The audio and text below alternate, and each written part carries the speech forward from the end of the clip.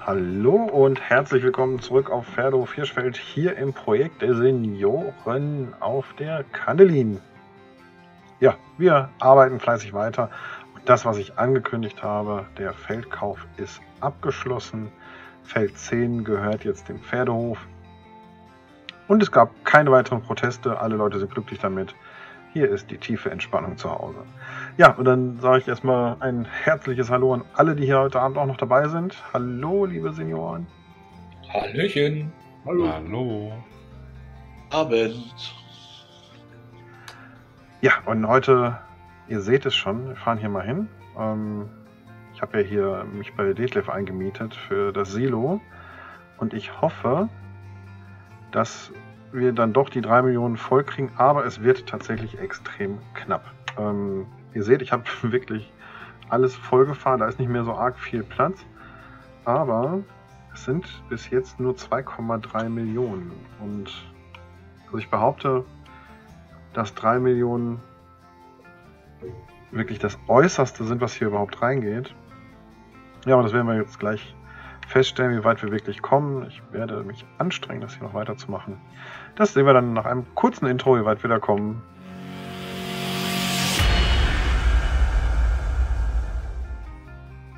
So, dann sind wir auch schon wieder nach dem Intro.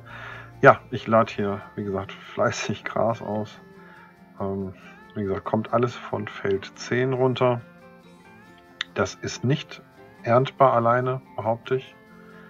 Außer man macht nie mehr was anderes im Leben. Arbeiten, was mit der Familie, Freunde, was auch immer. Wovon redest du da? ja, genau. Ich rede von dem, äh, dem Bereich des Lebens, wo der Pizzabote herkommt. Ah, Ähm, aber was wir festgestellt haben, das kann ich euch vielleicht mal zeigen, ist, wir waren wirklich ein bisschen verwundert, weil Detlef ja auch die Silos hier voll fährt. Und ähm, gucken wir, ob ich das, ich das hier so zeigen kann aus dem Traktor raus. Das liegt daran, dass die vorderen beiden Silos deutlich kleiner sind. Das hatten wir ursprünglich überhaupt gar nicht, ich gar nicht drauf geachtet. Aber ihr seht, die hinteren beiden hier, die sind ein bisschen versetzt vorne. Das sieht man hier an diesen ähm, Regenablaufrinnen. Aber die sind hinten deutlich weiter rausgezogen, als es vorne zurückgesetzt ist. Also da sollten dann tatsächlich dann noch 4 bis 5 Millionen in die hinteren reingehen, während, wie gesagt, die beiden vorderen, behaupte ich wirklich mit maximal 3 Millionen zu füllen sind. Da wollen wir mal wieder zurückzoomen. Und daher ein wenig die Verwirrung, was die Größenordnung angeht hier. Aber auch da. Oh, nee, nee, nee. Das müssen wir gleich im Video, später im Video rausschneiden. Das sah nicht glücklich aus. Ähm, unabhängig davon, Detlef, werden wir also wahrscheinlich gar nicht alles in die BGA kippen können. Ne? Du hast den Radler ja schon sehr intensiv laufen. Ich überlege, dass da drei Millionen irgendwann drin liegen. Wie viel gehen pro Das Tag theoretisch rein? Äh, mal am, am guten Tag habe ich, hab ich mal 100.000 mit der BGA gemacht. Aber ich meine, dass ich dann noch Gülle auch gleichzeitig mit abgefertigt habe. Also ich glaube, man kriegt am Tag mehr als 100 bis 130.000 Liter rein. Ja, und überleg mal, Das soll man mal ausrechnen. Wie lange man da mit drei Millionen unterwegs wäre. Das heißt, ähm, wahrscheinlich macht es vielleicht sogar Sinn, irgendwann Silage mal abzufahren und dann beim Verkaufspunkt zu verkaufen. Müssen wir mal gucken. Ähm, heißt aber auch, dass Silage. Oh. Ja, das, liebe Zuschauer, war eine Kollision, die hier in der Kanalin immer wieder mal auftaucht. Es gibt so manche Kollisionspunkte, da wundert man sich wirklich, was die Wagen auf einmal da durch die Gegend springen, was man nicht sieht. Müssten wir vielleicht auch nochmal die Development Tools anschalten und gucken, woher das kommt. Ja, also mit Silage in den Silos und BGAs. Die BGAs haben zwar bessere Preise, also jetzt mittlerweile bessere Preise, weil wir die angehoben haben. Aber die Verkaufsstellen haben natürlich noch ähm, schlechtere Preise. Ich glaube, Maximum war bisher 350, was ich mal gesehen habe. Ne? Also in dem Dreh nicht das. Ähm, das heißt, das ist wirklich das, was man da rauskriegen kann. Wenn wir angenommen 350 pro, dann sind wir bei den 3 Millionen. Habe ich das richtig, dass wir dann mit dem Verkauf auf rund eine Million kommen?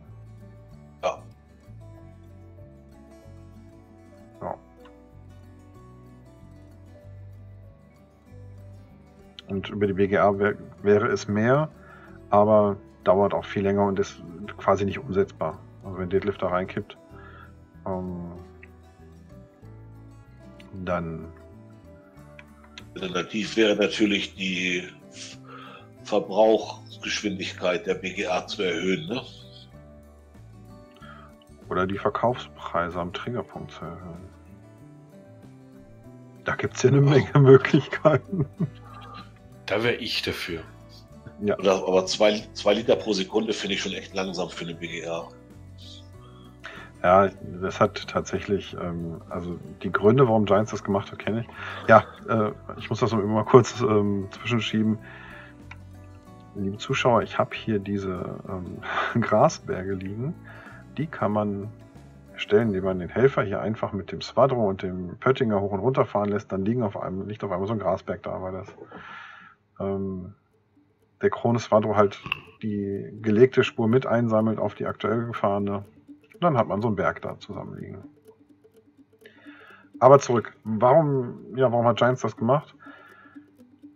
Dass diese BGA sich nicht mehr so lohnt. Das ist einfach, weil im 17er, glaube ich, das war der Haupteinnahme, die Haupteinnahmequelle. Die meisten Leute haben, wenn sie angefangen haben und Geld haben wollten, erstmal angefangen mit einem Mähwerk und einem kleinen Ladewagen in die BGA zu fahren, oder? So war Häufig ist es so gemacht worden, ja. Ballenpressen. Silageballen und die dann verkaufen. Das war der absolute Renner. Ja, also von daher ähm, versucht Giants natürlich auch, das ein bisschen auszubalancieren und hat damit so eine kleine künstliche Bremse draufgeschoben. Und die Leute von der Kanelin haben das übernommen. Ne? Ist ja auch erstmal keine schlechte Idee, ist, dass ähm, die Wirtschaftslage vom Grundspiel jetzt nicht so komplett durchzuändern. Obwohl wir haben ja schon auch Sachen angepasst. Also die Sojapreise zum Beispiel waren ja urgewaltig am Anfang. Naja, da kann man immer so oder so sehen. Ne? Also so ein, ich glaube, uns fällt schon auf, so ein Spiel auszubalancieren oder so eine Wirtschaft auf einer Karte auszubalancieren, ist gar nicht so einfach. Das sieht man immer, wenn man dann lange drauf spielt und ähm, wenn dann so nach und nach sich die Monokulturen bilden, da muss man dann eingreifen. Von links. Oh, Vorfahrt genommen hier. Ju, ju, ju. Ju, ju, ju. Also ich denke, ähm, was man bei diesen ganzen Geschichten, Wirtschaft ausbalancieren und so, ohne es zu spielen, gar nicht mit einrechnen kann, ist die äh, Kreativität der Leute, die es spielen. Genau. Wer hätte zum Beispiel gedacht, dass hier plötzlich äh, Millionäre aus dem Puppen schießen, indem sie Holz machen? Echt Millionäre haben wir hier auf der Karte. Naja gut, wenn ich mir Patrick angucke, was der so alles hier äh, gemacht hat, der hat schon etliches damit gemacht. Jetzt inzwischen ist er vielleicht kein Millionär mehr, aber okay, ne? Ja. Nee, stimmt. Also tatsächlich, Holz war ähm, durchaus äh, lukrativ. Ja, genau. Das ist so das Thema. Ähm, du siehst es halt wirklich im Spiel. Wer was kauft, ähm, wer was macht, wer was baut. Also irgendwann kommen die Leute halt immer darauf, was, was lukrativ ist und was sich lohnt und was ähm, die meiste Kohle bringt. Das ist einfach so. Das ist ja auch in Ordnung. Ja. Sagt ja keiner was gegen. Nur Genau. man muss dann halt aufpassen, ne? denn sonst haben wir wirklich das Problem, dass es einfach zu schnell langweilig wird. Genau, deswegen muss man halt dagegen arbeiten. Und da, ja, sowas kann durch die ganzen Mods und ähm, Klamotten kann Giants das über Updates natürlich nicht machen. Also das äh, muss dann tatsächlich so wie in so einem Projekt, da müssen sich alle einig sein, dass wir da so ein bisschen gegenarbeiten und anpassen. Ja. Und Man kann aber auch tatsächlich, also man kann auch den Weg fahren, wenn genug Kohle im Spiel ist, ähm, gibt es ja auch den Effekt, dass man sich dann eher auf das besinnt, was man so noch nicht gemacht hat, dass man mal ein bisschen was anderes macht. Zum Beispiel, was macht man nicht? Gülle und Mist fahren. Das machst du nicht, wenn du nur effektiv spielen willst und auf, auf ähm, Kohle aus, wenn du erfolgreich sein willst, dann machst du das nicht, weil es hier im Spiel keinen deutlichen Mehrwert hat. Ja, wenn Gülle und Mist jetzt ähm, ertragsteigernd wäre, nochmal zusätzlich, dass du sagst, okay, du hast 20% mehr Ertrag daraus, weil organischer Dünger im Wechsel den Boden besser macht. Dann behaupte ich, könnte das sein, dass das nochmal effektiv ist. Aber dass das nicht gibt, macht das aktuell keiner. Und das kommt dann irgendwann, wenn man sagt, okay, Kohle ist ja eigentlich egal, dann können wir uns kaufen, was wir wollen. Ähm, dann wird es auch nochmal sein, dass die Leute Sachen machen, die sie so vielleicht nicht machen würden. Das habe ich tatsächlich bei mir in dem Singleplayer-Projekt im Hof Hirschfeld auch festgestellt, dass genau so ein Effekt eintritt. Ähm, dass man dann einfach nur noch macht, ja, was man nicht gemacht hat, was vielleicht nochmal was anderes ausprobieren. Das wird uns hier auch ereilen. Behaupte ich. Ne, Sebastian zum Beispiel, der macht jetzt schon was, was überhaupt keinen Ertrag bringt. Wolle.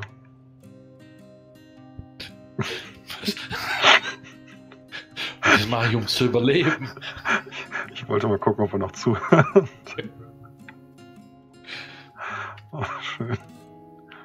Sebastian kümmert sich um Mähwerke. Mäh. Ich muss mir ja schon Anhänger sponsern lassen. Genau, also ähm, der Sebastian hat tatsächlich ein äh, DB Schenker Logo auf seinen früher Auflieger gemacht und ähm, da ich das nicht gut haben kann, habe ich äh, Werbeeinnahmen abgetreten, so dass er jetzt mit einem. Ich hoffe, er hat es schon geändert.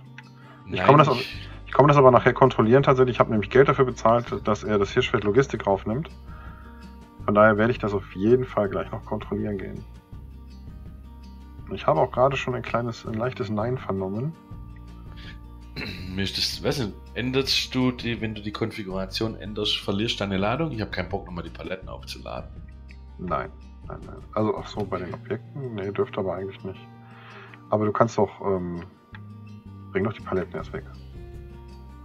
Ja, der Preis für Wolle steigt gerade. Ich muss im so, richtigen Moment okay. abpassen.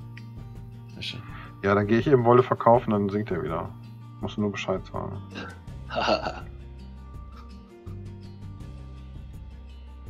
Mhm. Jetzt hat Sebastian aber tatsächlich kurz überlegt, wo denn der Pferdehof die Wolle herhaben könnte.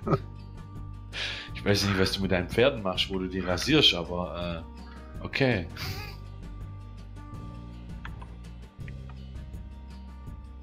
Pferde werden, können durchaus auch geschoren werden, die am Winterfell. Aber da kommt keine Wolle bei rum, da kommt höchstens so ähm, Rosshaar. Und dafür Bürsten und sowas. Aber das sind dann die teuren Dinger. Also wahrscheinlich könnte ich mit Rosshaar mehr Geld verdienen als mit der Wolle. Tja. So viel zu dem Thema mit den Millionären hier auf der Karte und so weiter. Ne? Ich habe auch noch nie einen reichen Schafhirten gesehen. Ja. Auch hier bei uns am Niederrhein nicht. Da gibt es einige Schafhirten, aber ähm, dass die reich sind, kann ich jetzt nicht sagen. Die müssen viel Geld arbeiten. Das ist richtig. Und wie du ja immer so schön be bemerkst, wird man von Arbeit nicht reich. Ja. Scheiße, ich mache schon wieder was falsch. Sebastian, es geht hier um Spielspaß. Nicht um die fitte Kohle. Ist klar, ne?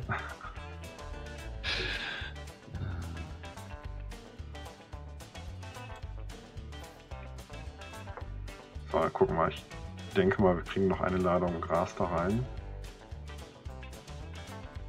Aber so arg viel mehr kriegen wir wahrscheinlich nicht unter. Vielleicht noch maximal eine zweite. Und dann ist das Ding tatsächlich bis Oberkante Unterlippe gefüllt. Und dann sind wir bei eher 2,5 Millionen anstatt 3. Ja, da muss ich dann tatsächlich meinen Hut ziehen und sagen, das habe ich grandios fehl eingeschätzt.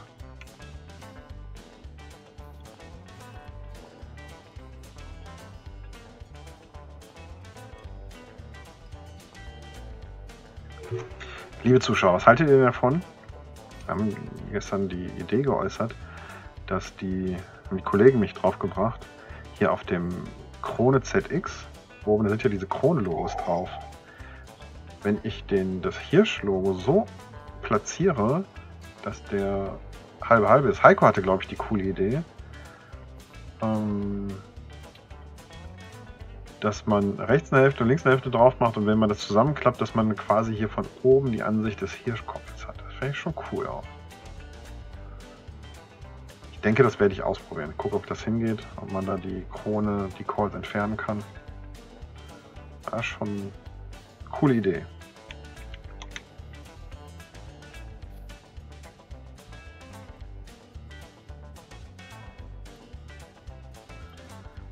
Hier waren übrigens tatsächlich Aliens auf meinem Feld unterwegs, ne?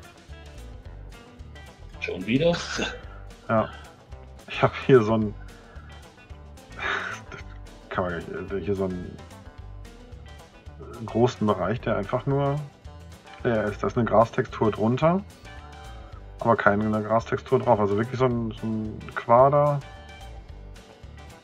ohne Gras. Aber gestern habe ich da gemäht noch. Also ist nicht so. Ich hatte das Problem heute auf deinem Feld 7. Da wurde mir auch angezeigt, dass da ein Quadrat ist, wo gar nichts gewachsen ist. Ja, Wurde sogar in der PDA so angezeigt. ja. Und nachdem wir dann den Server neu gestartet hatten, war es plötzlich ganz normal bewachsen. Aha. Also auf Feld 10 gibt es mehrere davon. Ich bin gerade noch in ein zweites Quadrat gefahren.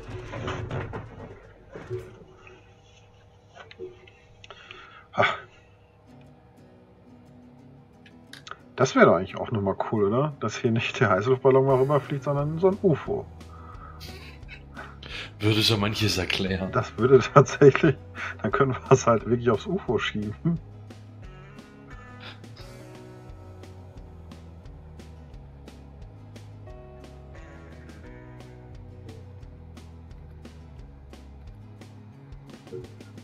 So, wir fahren das jetzt erstmal weg und dann gehen wir mal gucken,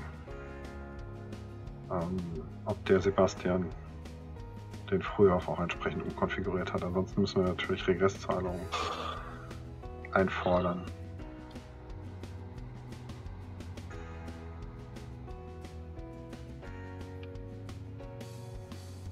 Es gab ja einen geschlossenen Vertrag unter Zeugen, der gilt. Du, Ich habe nichts gehört. Ja, den, du bist ein Kumpel, Dick. Mario, du musst da Nachsicht haben. Er hat DB, Deutsche Bahn, auf dem Logo. Ja, das, Also meinst du, das Das geht einfach, geht einfach nicht so schnell? Na, ich sag mal so, den. Bei dem Frühjahr habe ich ja meine Hände mit drin. Vielleicht äh, schmeißen wir einfach alles wieder raus, alles andere. Will Patrick nicht so gut finden, aber am Ende des Tages. Es muss ja nicht. Es muss ja nicht drauf sein, die ganzen anderen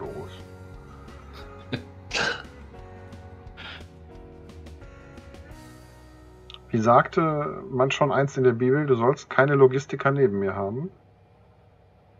Mhm. Das war doch so, oder? Ja, ja. Liebe Zuschauer, das sieht man auch so ein Weil- bisschen hier. Ne? Ähm, ich kann die Abdeckung teilen. Ne? Wie Moses das Meer kann ich die Abdeckung teilen. Aber ist offiziell noch gar kein Logistikunternehmen hier aktiv. Das stimmt, ja, das stimmt. Wir fahren tatsächlich nur die Logos durch die Gegend. Ich könnte rein theoretisch mir noch das Logistikunternehmen an den Nagel reißen. Das könntest du tun, ja. Oh Mann, nee, das war nicht so clever, ne, hier so hoch zu brettern. Mal gucken, ob wir da noch hochkommen. Ich weiß nicht, ob wir den da noch hochgefahren kriegen. Ich glaube, wir können das Silo tatsächlich besser von oben voll machen, den Rest. Aber ich weiß nicht, ob ich den Wagen da noch hochkriege. War es aber knapp jetzt, ne? Probieren es nochmal. Fährt sich auch so ein bisschen platt hier.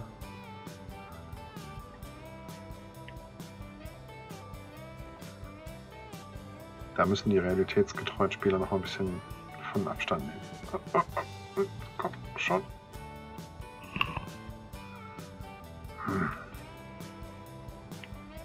Ich brauche dringend diesen Fendt Tris, Trisix, Trisix heißt er.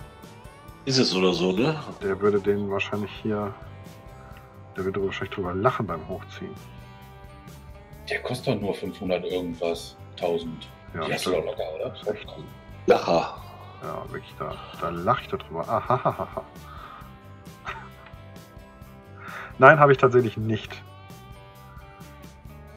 Sowas. Da müsste ich tatsächlich erst noch mal ein paar Fuhren Aber für jede Menge, Menge Gold im Stall. Stimmt. Ja, aber da ist, wie gesagt, jetzt tatsächlich Ebbe. Der Feldkauf hat er ziemlich reingerissen. Frau Fendt geht zu viel einkaufen. Ja, ist tatsächlich ja, so. so. sind die Frauen. Die goldene Kreditkarte, die glüht. Das ist mal sicher. Da kannst du das Portemonnaie auf den Tisch legen und schwupps ist es alles weg. Ja, genau so ist das. Das kann man schon mal so festhalten. Also gib einer Frau nie dein eigenes Portemonnaie. Sonst hast du nichts mehr. Naja, also wer glaubt, er hätte noch was mit der holden Weiblichkeit an der Seite, der, der soll einfach in, dem, in der Vorstellung auch noch bleiben. Das wollen wir eben nicht nehmen. Ich fand die Aussage, gib einer Frau nie dein eigenes Portemonnaie so doll.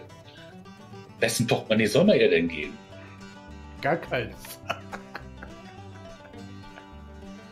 Irgend so ein Tarnportemonnaie, so ein Austausch. Meine Frau hat tatsächlich ihr eigenes Portemonnaie.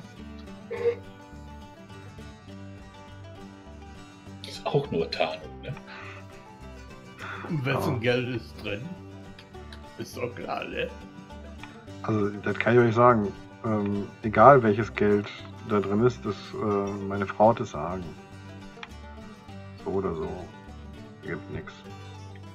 Das ist beruhigend, das ist überall gleich. Ne? So, jetzt gucken wir nochmal hier, was wir hier drin haben. Und ihr seht, ich komme, ja, vielleicht komme ich knapp über 2,5 Millionen. Wenn ich den Rest hier noch voll bekomme.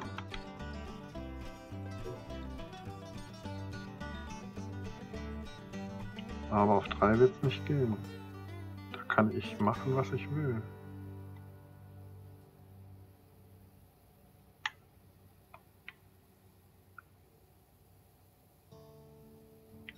Und das ist jetzt schon hier die Fahrerei, die ich hier begehe. Das ist ja schon sträflich eigentlich. So darfst du eigentlich hier gar nicht ins Silo reinfahren.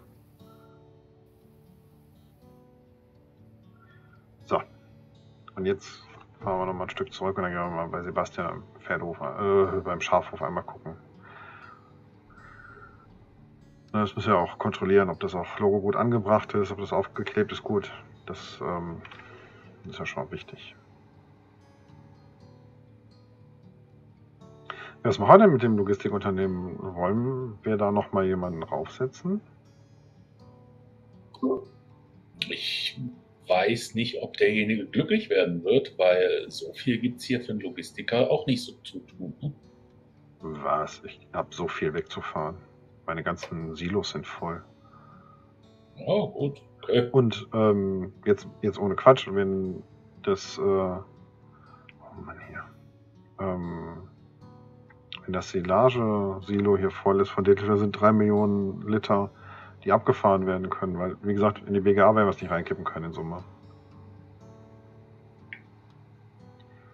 Aber es ist tatsächlich kein Job für zwei Leute und auch kein Job für jemanden, der sehr viel Spielzeit investiert, sondern das wäre halt so ein so ein Casual-Bereich. Die Frage ist, wie viel, ähm, wie viel Brot dabei rauskommt. Das ist sowas für die, ähm, für den Sebastian. Der macht doch gerne Sachen, die nichts bringen. Und jetzt klatscht gleich, aber kein Beifall hier.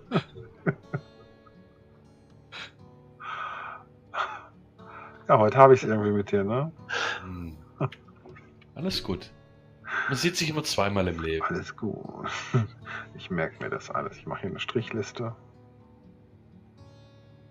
Eine Rache wird fürchterlich sein. Grausam und ungerecht wird sie sein.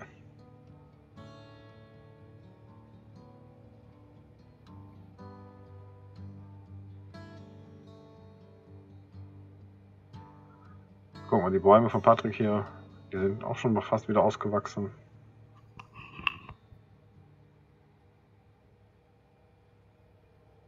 Dann wissen wir ja, was demnächst wieder blüht. Wir räumen feste Baumerntezeiten ein von Realzeit morgens 8 bis morgens 9.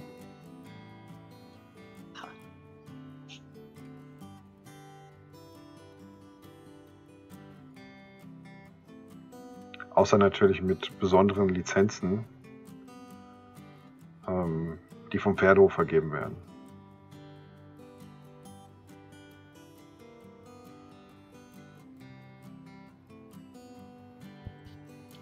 Praktisch B5 Netzfrequenzen, ne? Sowas, ja, genau. Also ähm, eigentlich B5 Holzfrequenzen. Äh, Lizenzen. Ja. Aber habt ihr, gehört, habt ihr gemerkt, liebe Zuschauer, äh, jetzt fahre ich tatsächlich mit dem, ach ist auch egal, dann fahren wir halt mit dem Gras zum Schafhof. Nehmen wir halt mit. Ich sag, das vergibt der Pferdehof dann keine Widerworte, überhaupt nichts. Die Leute denken sich alle, ja, lass den Mario mal quatschen, tut er sowieso den ganzen Tag. Uns sind die Hände gebunden. Ach so, ich sind die Hände gebunden. Ach, guck mal, hier das Lohnunternehmen hier auch bei der Arbeit. Mal. Guckst du eigentlich einmal nach links, wenn du von irgendwoher auf die Straßen pacest? Ich? Ja. Ich hab's gemerkt. Aber ich habe einen Hirsch auf dem Traktor. Ja. Das ist wie der Stern im realen Leben, das eingebaute Vorfahrt. Ah, okay. Jetzt weißt es. André, dein Lexion ist pottdreckig. Der ist auch im Einsatz und arbeitet. Ach so. Den ganzen Tag schon. Ist den ganzen Tag schon im Einsatz? Wie viele Ja. Betriebsstunden hatten der? Der hat tatsächlich schon zwei, über 32 Betriebsstunden. Oh, schon ordentlich. Also überleg mal, Leute, 32 Stunden dreschen. Das schon. Wird Zeit behaupte, für einen neuen. behaupte, der ist nicht Ja, mit Helfer gefahren. Was, mit Helfer? Nee, mit Helfer ist der nie Nee. gefahren. Das sag ich ja. Ich behaupte, der ist nicht mit Helfer gefahren. Was ist das denn hier? Ich glaube, äh, wer macht denn das?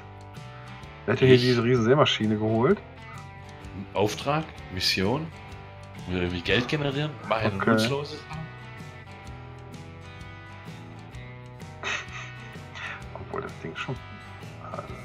Für die Karte zu groß, aber gucken wir uns das mal an. Klappt das mal aus. Was ist das? Das hat Richtig, 64 ist die- Meter. Ist genau richtig. Wie hast du das? Die Spur so, zu klein. Eine Spur zu klein. 36 wäre besser. Ja. Ah, Das Ding ist schon cool. Was macht denn die Hatzenbichler? Also was und Düngen. Ja, was sät die denn? Ähm, Direktsaat, Echt, das ist sogar eine Direktsaatmaschine. Sätechnik, Moment, ich prüfe. Ich prüfe. Der Terminator DH18, gell? Ist das- Terminator, Digga. Der Terminator, gell? Ähm, Direktsaat, ähm, Weizen, ja, die ganzen Getreidegeschichten halt. Okay. Standardfrüchte. Mohn, ja, die Standardfrüchte. Und der Hänger hinten, Dünger und Saatgut, Okay. 14.720 Liter. Worüber wird der? Ach, der wird wahrscheinlich auch hier über diesen Triggerpunkt beladen, ne? Das, Warte, hat, warte, warte, warte, ich zeig's dir. das, das ist halt echt blöd, weil die, ähm, Also du komm, ich komme damit, ich wollte gerade äh, Dünger und Saatgut bei mir holen, ich komme nicht in, in nee, nee, du ins vergessen. Silo rein. Nee, nee, Ich muss zur tatsächlich fahren. Ja, Und da musst du auch zirkeln, dass du dann den, den Trichter da genau unter den drunter Träger kriegst, ja. kriegst. Die kann man tatsächlich nicht von oben beladen. Mm, Also der, der Trichter, also der. Als ich mit dem Trichter hier unter dem Trigger war, mit dem hier, Ja. da hat er dann gefüllt. Aber hier oben rein direkt füllen Nee. tut er nicht. Das Nee, finde ich ich halt tatsächlich blöd an den Dingern. Warum tun die das nicht? Also, dass das den Trichter noch extra gibt, ist ja schön und gut, aber warum sollte man die nicht von oben beladen können? Frag mich was leichteres.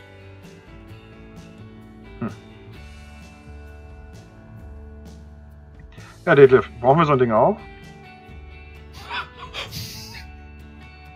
Ich weiß nicht, wenn das die ist, hinten mit dem Tank, der so wegeiert hinten, dann nicht. Nee, das ist Nee. mit dem Tank vorne. Tank ist vorne.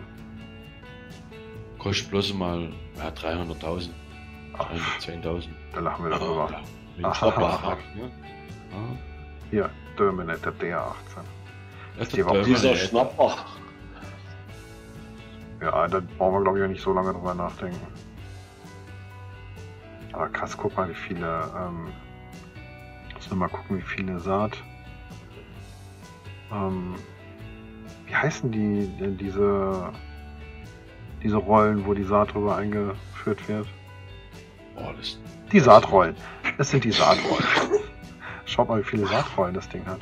Was hat denn hier jeder, jeder Anschluss? Der hat 1, 2, 3, 4, 5, 6, 7, 8, 9, 10, 11. 11 oder? Über 12 Schläuche. Wie viele haben wir davon? 1, 2, 3, 4, 5, 6, 7, 8, 9, 10, 11, 12. 12 mal 12 944. 944. 144.